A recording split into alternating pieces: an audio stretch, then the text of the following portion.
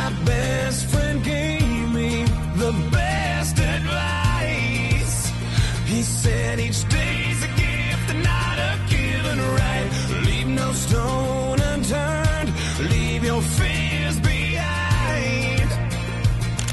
And try to take the path less traveled by.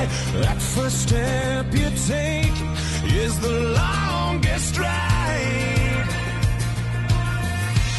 If today was your last day, tomorrow was too late.